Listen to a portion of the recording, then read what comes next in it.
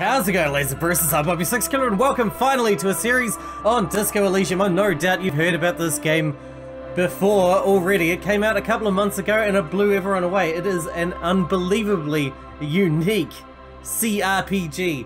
Very. Uh, if you're going to compare it to something we've done on the channel, I would compare it to uh, Torment Tides of Numenera.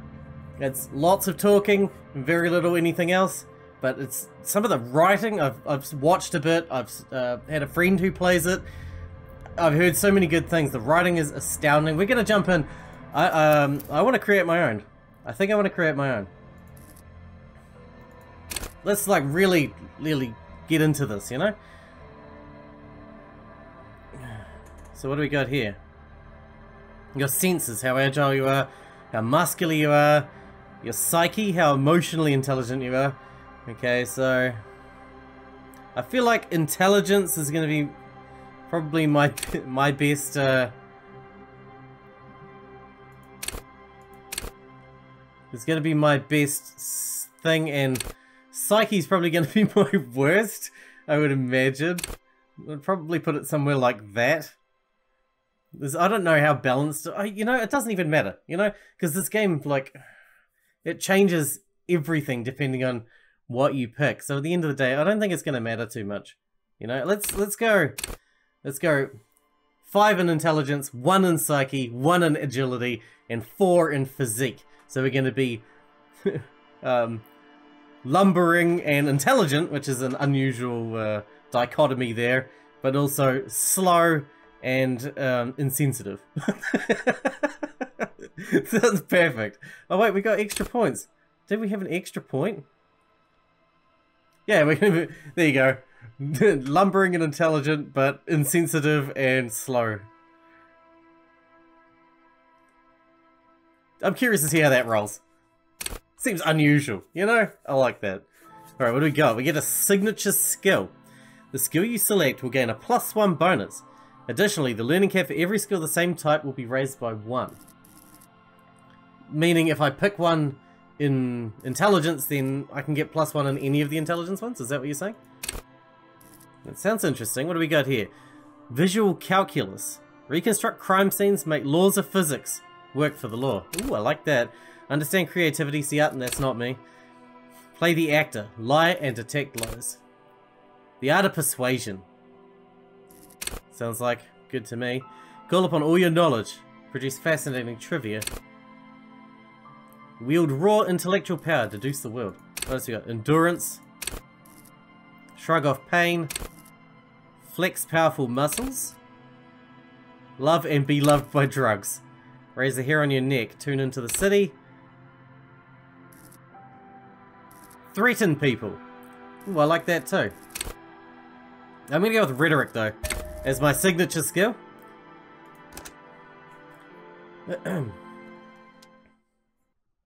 Sounds good to me. Now, I know this first part is voice acted, so I'll shut up. but I brought drink for while I'm reading much. These will be like I'm reading a story to you. So if you enjoy listening to my voice, and you don't need to be watching something, you can just listen, this will be perfect. There is nothing. Only warm primordial blackness. Your conscious ferments in it, no larger than a single grain of malt. You don't have to do anything anymore. Ever. Never, ever. Never, ever, ever? Never, ever, ever, baby. Simply keep on non-existing. An inordinate amount of time passes. It is utterly void of struggle. No ex-wives are contained within it. Oh, this is good.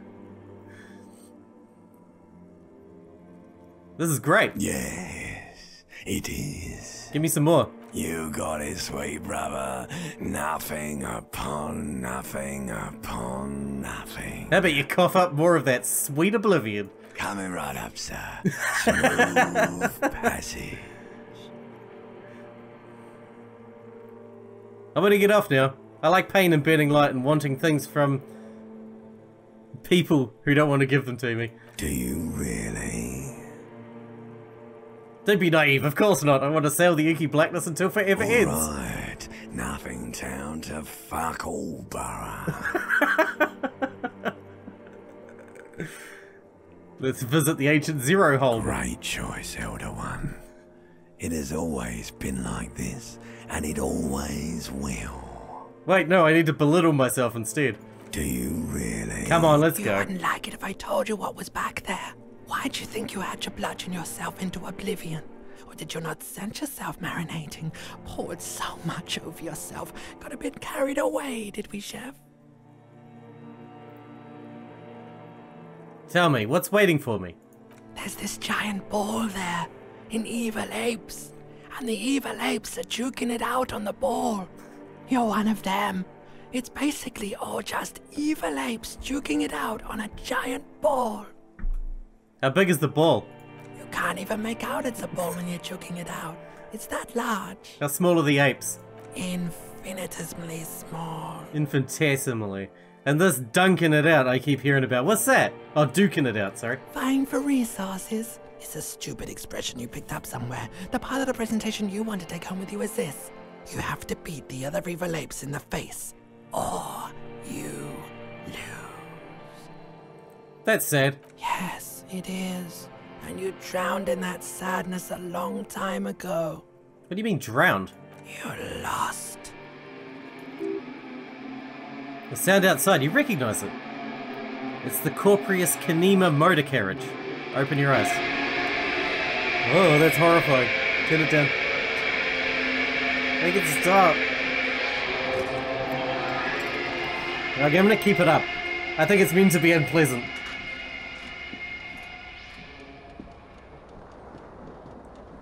Alright, we look healthy. Alright, uh, what, what do we got here? This reel-to-reel tape player is still on, rolling empty. Looks like someone tore out the tape while the song was playing. Oh, thank God. This magnum-sized bottle of Commodore Red is empty. Oh, pants! I do love some pants. Well, actually, I, I don't like wearing pants very much, but, you know, whatever. You hear a jingle. Keys are clinking in the pocket of your flare-cut pants. Fish them out. Key to room one. It says whirling in rags on the aluminum key ring. There is a single key on the ring. The number one is etched on it. It should open the door.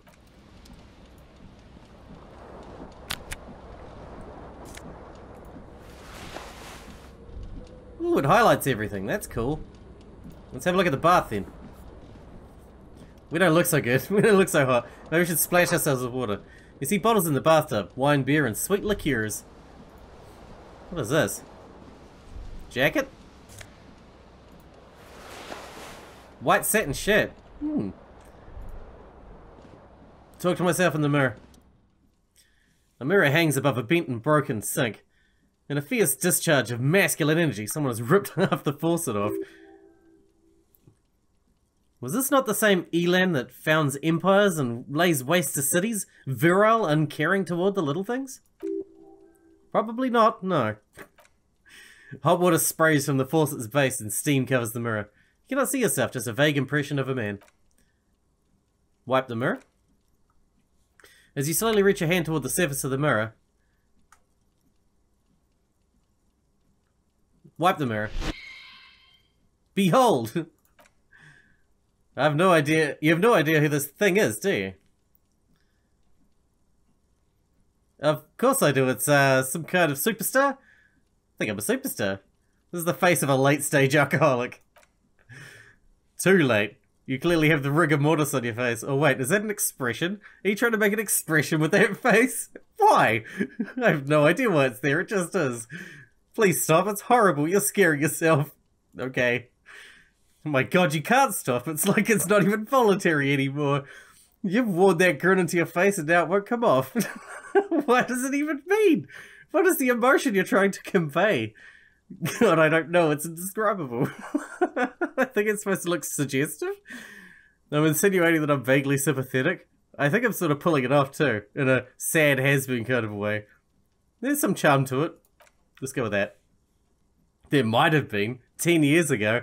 It's little more than a cadaverous spasm now. Electrochemistry. Ugh. Uh, 42% is still pretty bad, man. Well, we'll give it a try. Dig deep in your mind and locate the source of the expression. Yep. We're not even going to try the other one. 3%?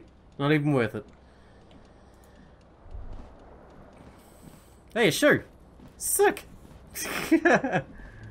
Wait. How many shoes do I have? Do I only have one shoe? I wear the shoe, I guess. What is that? Alright, alright, alright. Alright, calm down. Uh, there's a tie! This fan has two chain pull switches. The other end is a tiny fan, the other end a light bulb. A truly horrific necktie somehow attached itself to one of the blades. What do we got here? 17. Pull on the fan. The blades come squeaking to a halt. Should be easy to re reach the tie now.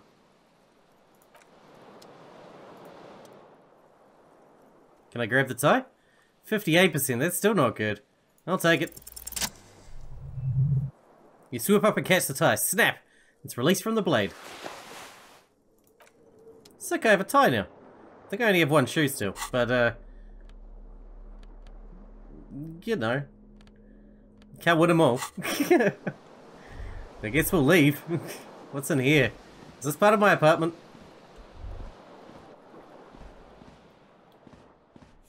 Or is this somebody else's apartment? Nope. Not going that way, apparently.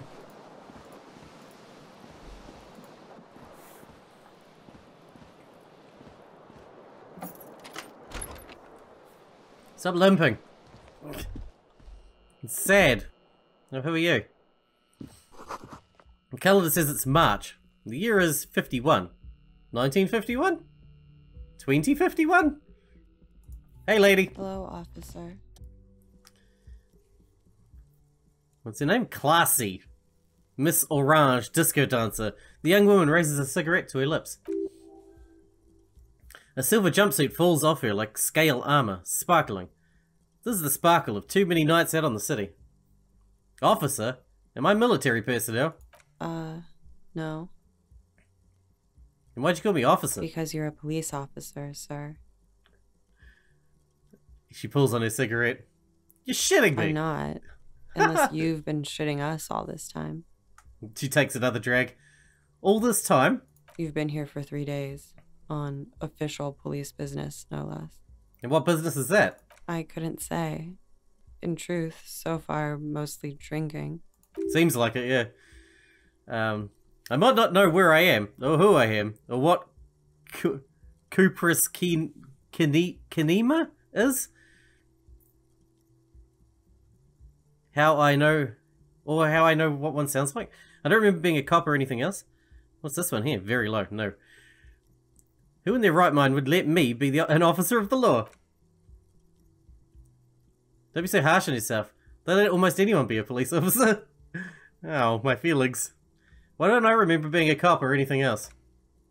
Could it be because of the drinking? She raises an eyebrow, the cigarette sizzles. She nods. But I do know when someone's not telling me the whole story. What am I doing here? What's my case? She takes a long drag before speaking. There's a mercenary out back. He's being ha hanged. And the body's been there for a week now. The locals probably got tired of it and called the cops. Why didn't you just tell me that? Didn't mean to overwhelm you with information. You seem a bit lost, officer. I should get going now. Of course. Be careful, officer. They don't like the police around here. Okay. It's alright, I'm not much of a police officer, clearly. She looks back at you, a light glinting off her eyes. Goodbye. Bye, lady. Go back to that crack pipe of yours. Um, what do we got here? Looks like she left a nice long stub in the ashtray. She's still smoking. You should pick that fat, juicy cigarette butt from the tray, light it up, and smoke the living shit out of it. Am I a smoker? Who knows what you are? A monster? A murderer? The gnome of Jeroma? You feel like a smoker, especially when you look at that juicy, succulent, seductive cigarette stub. Still smouldering deliciously. She broke it at the filter, I can't smoke that. How very astute of you. This renders it ineffectual. But you should look for a whole cigarette, or better yet, an entire pack. Strike that a carton. Make sure they're all healthy and able-bodied and smoke them all. I should not, not do... I'll think about it. Good. Thinking about yummy cigarettes in your mouth is the next best thing. Make sure you think about juicy sticks of tobacco all the time, though. Doesn't count if it's not all the time. And when you're done thinking about them, graduate to getting them. I don't want to. Plus, smoking them gives massive bonuses. No, I'm an ex-smoker in real life. I don't want to. I've spent a lot of time trying to put them out of my mind. you know? I don't want to think about them anymore.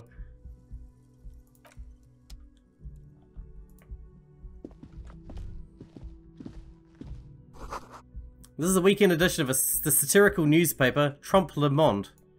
Okay. What else is around here? The writing is bloody brilliant. It is so funny. It's very clever. What do we got here? Something on the table. Money? 40 cents? Oh yeah. I'm a baller now. I'm missing a shoe still.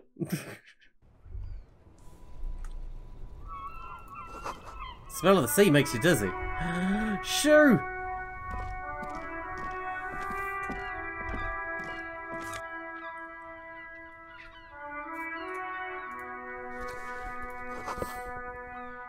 Gust of briny wind washes over you. Hmm. There they both are, two identical shoes, both green and indiscriminately snakeskin reunited on your feet. Like two baby crocodiles. Well, these don't look like normal cop shoes. Pretty clear a normal cop is not what you are. You may be what they call a big dick cop. How do they fit? Good, they're balanced, comfy. Feels like the only thing about you right right now, truth be told. Cool. I have shoes. Two of them. Two. Can I run? I can run. Double clicking. That's how we do it.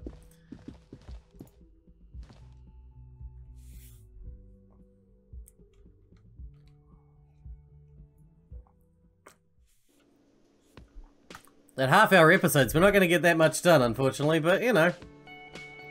It's going to be hilarious what we do get done.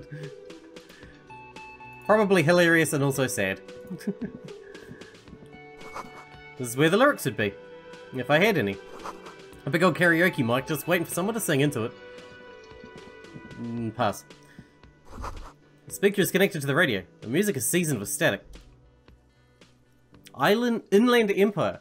You should totally sing karaoke, your karaoke here. The first chance you get. Your emotions need to be expressed. People need to know of your vast oceanic soul. My soul is modest. It's normal sized.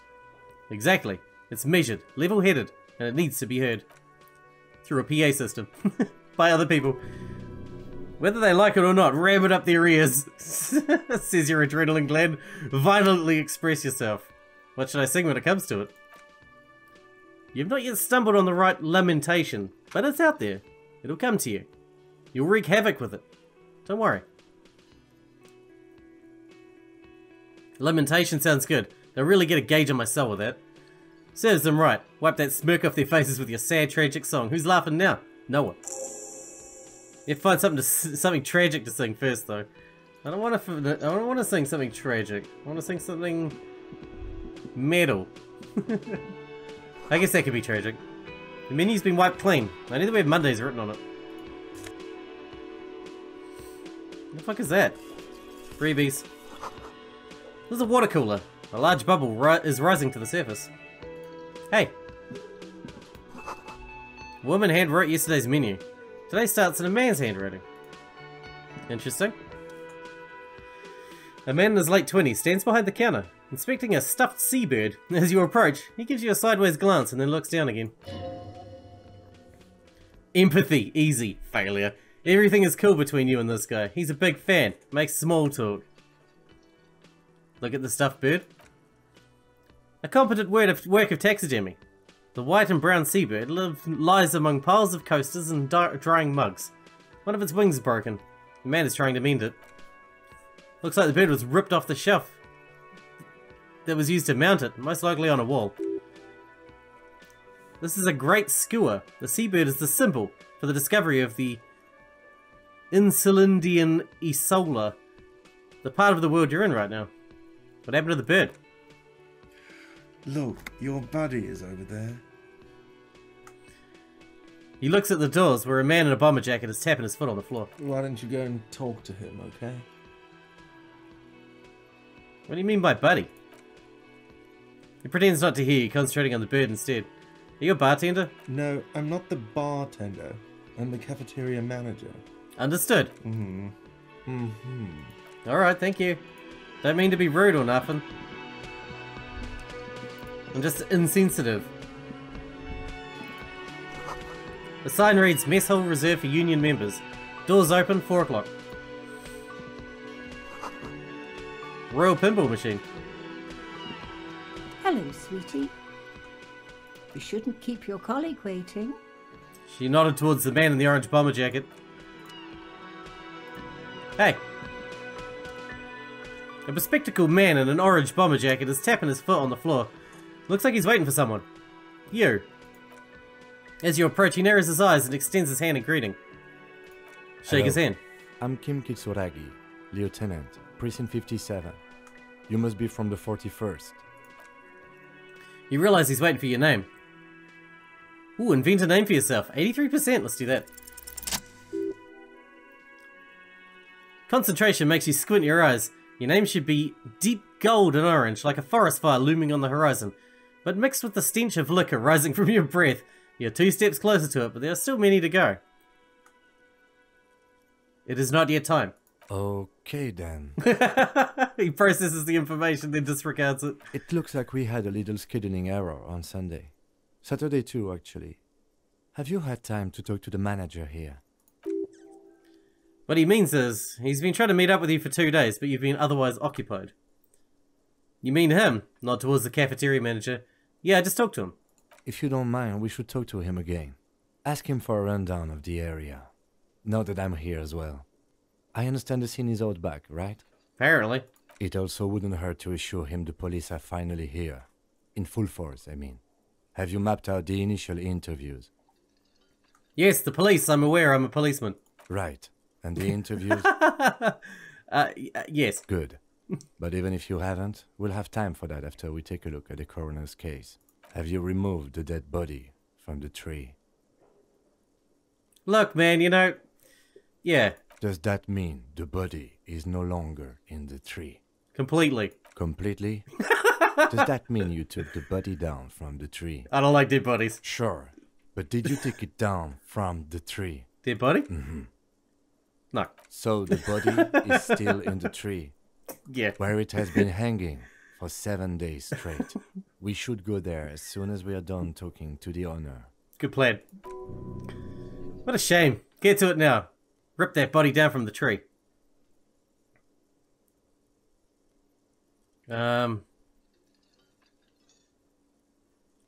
What are we supposed to do again? Talk to the manager, then go take the body down. Let's do that. After you, officer. Wait, should I have a badge or something? You mean you don't have a badge? It wasn't on me when I woke up. Losing your identification card is a serious matter. My vehicle is a shortwave, and you can use it to report your missing. missing. I advise you try to locate it as quickly as possible. But, but getting the body down should still take precedence. Lieutenant Kim Kitsuragi is now in your party. You can talk to him whenever by clicking on him. Awesome. Alright, let's go talk to the manager then. This is great. I'm having a great time. Come on. I get to be me. A twat. the man with the unimpressive beard. Oh, notices you arriving, approaching. He drops the ledger he was holding and turns to the lieutenant. Mr. Garte, right? You run this place. Yes. He responds tersely. I am Kim Kitsuragi from Precinct 57. This is an inter-district investigation, so joining me from Precinct 41, He looks to you, realizing he still doesn't know your name. What is gold and orange like a forest fire but smells like liquor? Are you kidding me? No, man, help me out. What is gold and orange and smells like liquor? It's you. It's obviously you. You smell like liquor, and you're orange. See, everyone agrees it's your color scheme. We're on the right track with this name thing. Is this what you get when you call the police now? We've been waiting for a week here. Sir, I understand your concern, but we are here to do a job. And for us to do it, I need you to stay calm. Okay, so he's the smart one, right? We're the we're the Inspector Gadget of the team. Yes, of course. He takes a step back. I know it took us a while to arrive at the scene, but it also took you a while to call us. It was you who placed the call, correct? No, I only just got here. It was probably Sylvie who called you. She usually works the bar here. I'm only temporarily taking over her duties. Do you have her number? As a matter of fact, I do. You look behind a pile of coasters, finds a slip of paper, and hands it to the lieutenant. You said you just got here. From where? Are you a local? What? Of Martinaise? No, I live in Jamrock. I only sometimes come here to keep an eye on the place. This is just one of the many, many cafeterias I manage. But you still know your way around, yes? In case we need directions. Yes, I know where some things are, but as I said, I don't live here. I just used to work here. And I'm not going to start working here again, if that's what you think. I didn't imply that. Detective? He probably means this is where you step in and ask your questions. Right then, questions. I got this. His face expresses profound doubt in your having this. Ask him about the body's location before asking if he killed him. People give up information in the more innocuous questions, which you can later use in the more sinister ones, not vice versa. Where exactly is the body? Behind this building there is a courtyard.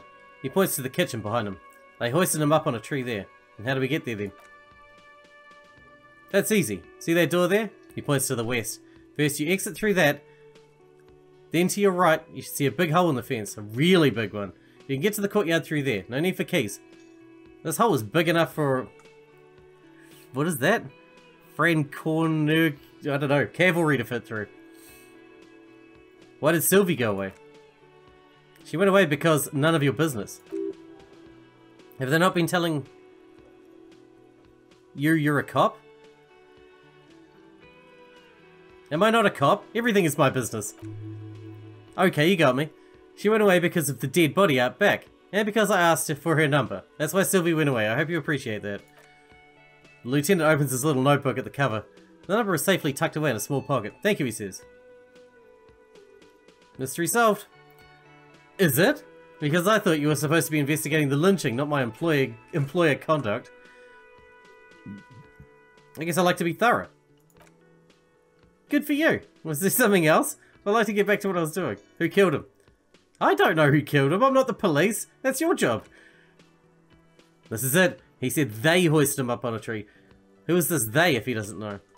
Ah. Before you said they hoisted him up on a tree. What did you, who do you mean by they? Oh. He's a bit surprised you called that. People are saying it was the union dock workers. That it was a lynching. Who exactly is saying that? The locals, customers, the people who eat here. A lot of dock workers eat here. Sylvie told me everyone knows the dock workers did it. Did the debardeurs tell themselves tell you this, or is it a rumor? I don't really know. You'll have to ask her. Why would the dock workers lynch this man? I would suppose it's because they have nothing better to do. You mean the strike? Yes, the strike. He makes little quotation marks with his fingers. The man they hung, hanged, was a security guard for the harbour company. I hear a mercenary. The Unionistas probably thought they'd sent him a message. Did you kill him? What are you, crazy? Of course I didn't kill him. Suddenly you tense up, blood is being pushed to your muscles. You should hound him on this. Hound him hard. The prey drives... No, no. Okay, I'm not going to hound you on this. Oh, thank you. Let's go. Not so fast. He points to you. You owe me 130 real. Oh, crap. What's real? Oh, excuse me. You owe me 130 real. He pronounces the R with a mock aristocratic accent. The IIR, or Inter... is solitary real is global reserve currency. Whatever part of the world you're in right now, it's safe to assume that means you owe him some money. By real, you mean some sort of street cred. No, you don't owe me street cred. You owe me money. You owe me this, you owe this establishment 130 real. He points to the red ledger on the counter.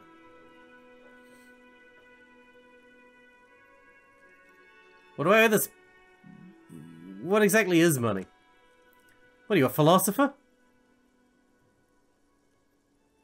Just getting my bearings. Money is what grown-up people use to pay for things, like this hostel room. Or he peeks into the ledger. Eight bottles of potent blend and nine packs of Royal Extra. We use it for everything, really.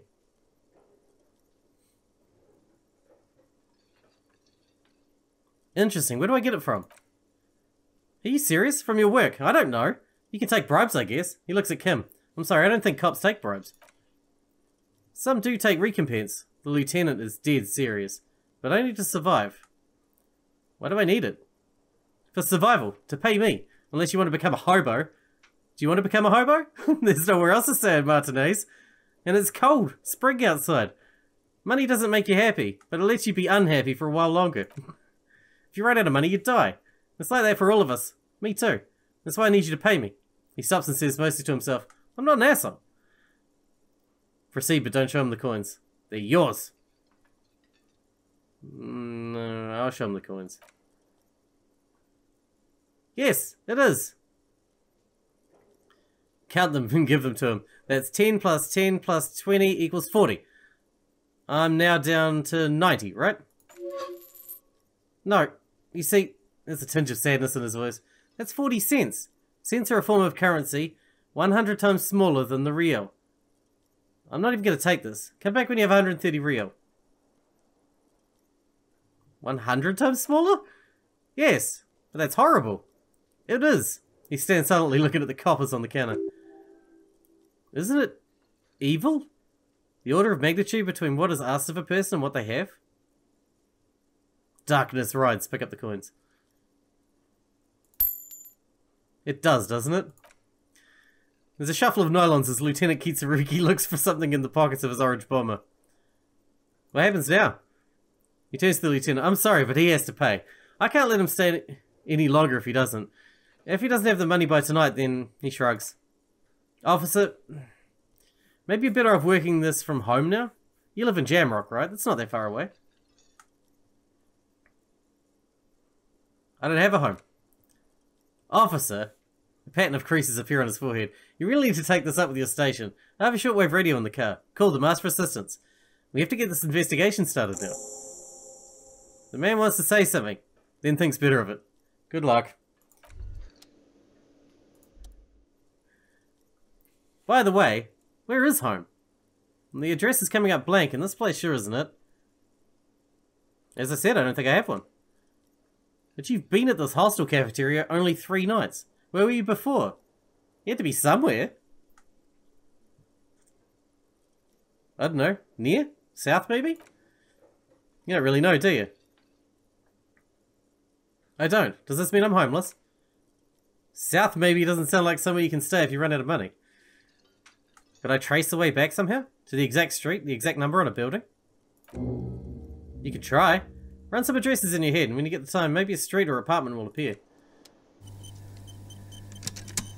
Whew, Jesus, what a what a mush. Let's have a look at what what we've got at, and what we're at at the moment. We have many tasks. I don't want to start smoking again. We can do karaoke though, I'm down for that. Uh, what else we got?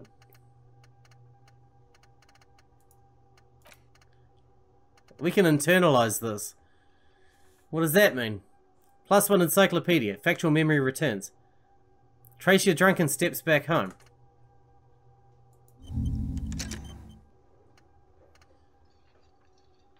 Okay.